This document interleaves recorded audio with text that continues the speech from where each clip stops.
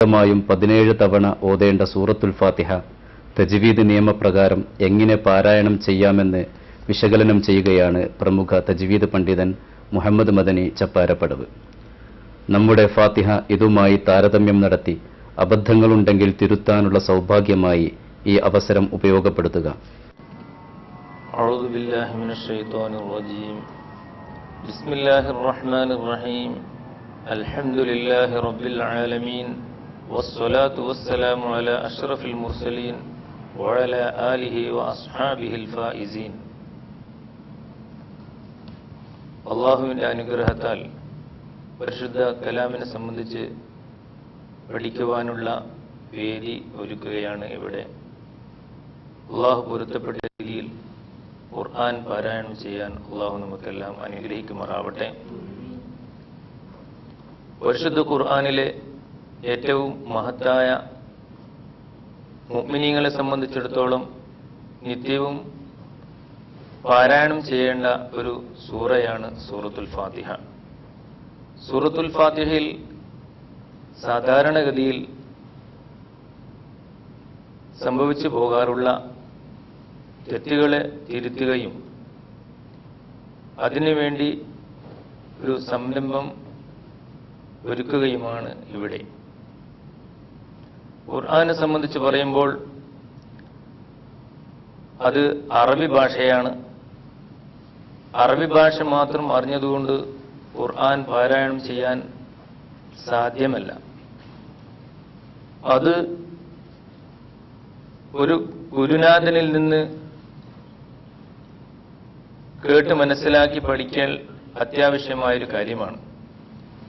ഖുർആൻ പാരായണം ചെയ്യുമ്പോൾ ശ്രദ്ധിക്കേണ്ട ഒരുപാട് നിയമങ്ങളും വ്യവസ്ഥകളുമുണ്ട്.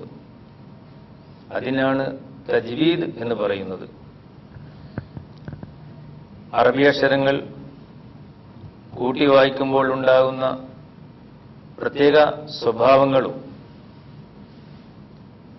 മണിക്കുക നീട്ടുക ലയിപ്പിക്കുക ഇങ്ങനെ തുടങ്ങി ഒരുപാട് നിയമങ്ങൾ തജ്വീദുമായി ബന്ധപ്പെട്ട് കിടക്കുന്നു. അറബി ഭാഷയിൽ ഉള്ള അക്ഷരങ്ങൾക്ക് ഹുറൂഫുൽ ഹിജായിയ അൽ ഹുറൂഫുൽ ഹിജായിയ എന്ന് പറഞ്ഞു വരുന്നു.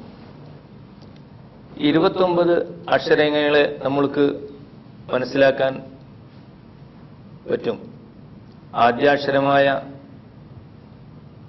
അലിഫ് കൊണ്ട് തുടങ്ങി യായിൽ അവസാനിക്കുന്ന അക്ഷരങ്ങളാണ് അൽ ഹുറൂഫുൽ ഹിജായിയ എന്ന പേരിൽ അറിയപ്പെടുന്ന അക്ഷരങ്ങൾ.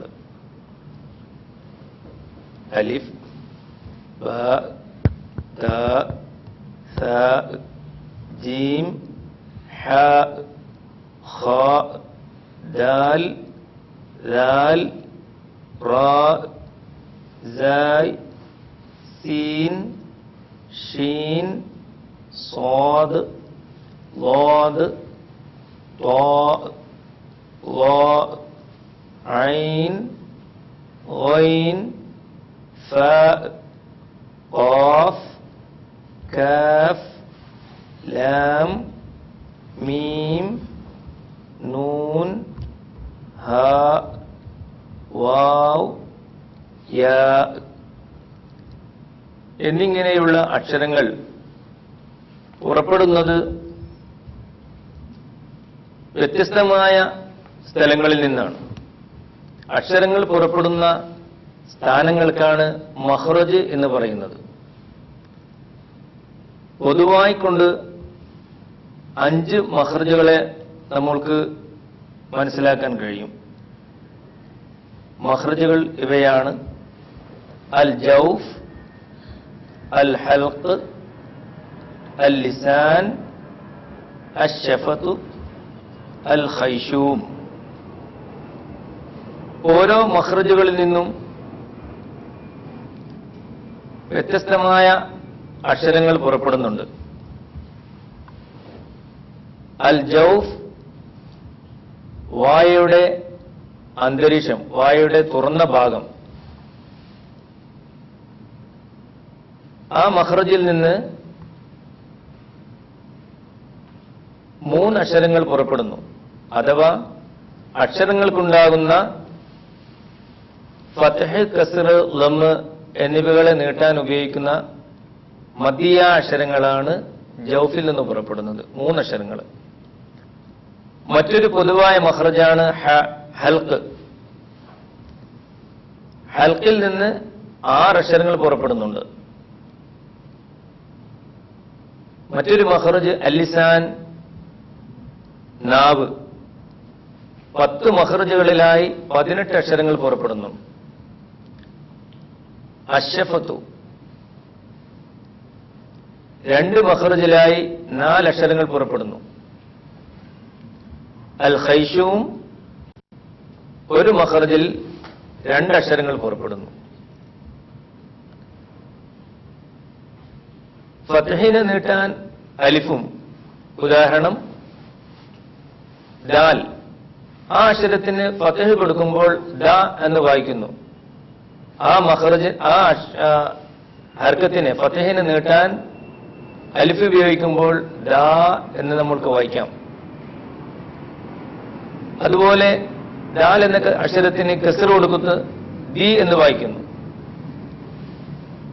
ആ കസറിന് നീട്ടാൻ യാ ഉപയോഗിക്കുമ്പോൾ ദീ എന്ന് വായിക്കാം. ദാലിന് ലമ്മ് കൊടുത്തു. ആ ലമ്മത്തിന് നീട്ടാൻ വാവ് ഉപയോഗിക്കുന്നു. ദൂ എന്ന് വായിക്കാം. ഇങ്ങനെ എല്ലാ അക്ഷരങ്ങളെയും നമുക്ക് വായിക്കാൻ പറ്റും. മാ മീ മൂ. മറ്റൊരു മഹർജാണ് അൽ ഹൽക്ക് ഹൽക്കിനെ മൂന്ന് ഭാഗമായി തിരിക്കാം. തൊണ്ട തൊണ്ടയുടെ അങ്ങേയറ്റം തൊണ്ടയുടെ മധ്യഭാഗം തൊണ്ടയുടെ മേലേയറ്റം. അങ്ങേയറ്റത്ത് നിന്ന് നെഞ്ചിനോടടുത്ത ഭാഗത്ത് നിന്ന് ഹംസ് ഹാ തൊണ്ടയുടെ മധ്യഭാഗത്ത് നിന്ന് ഐൻ ഹ തൊണ്ടയുടെ മേലെ ഭാഗത്ത് നിന്ന് ഓയിൻ ഹ എന്നീ അക്ഷരങ്ങൾ പുറപ്പെടുന്നു. അല്ലിസാൻ നാവ്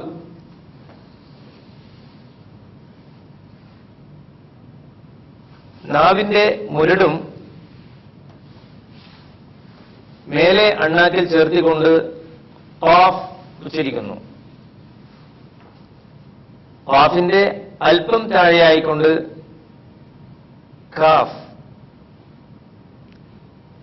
നാവിന്റെ നടുവും മേലെ അണ്ണാക്കും ചേർത്തുകൊണ്ട് ജീം ഷീൻ യ എന്നീ മൂന്നക്ഷരങ്ങൾ പുറപ്പെടുന്നു. നാവിന്റെ അരുനീളത്തിൽ മേലെ അണപ്പല്ലുകളിൽ ചേർത്തുകൊണ്ട് ലാദ് എന്ന അക്ഷരം പുറപ്പെടുന്നു. വളരെ പ്രധാനപ്പെട്ട ഒരു മഹ്റജാണ് ലാദ്. നാവിന്റെ രണ്ടാലൊരു ഭാഗത്ത് നിന്ന് സൈഡിൽ നിന്ന് അണപ്പല്ലുകളിൽ ചേർത്തിക്കൊണ്ടാണ് വാദ് ഉച്ചരിക്കേണ്ടത്. ലാം നാവിന്റെ തലയും മേലെ മുൻപല്ലുകളുടെ ഊനും ചേർത്തിക്കൊണ്ട് ലാം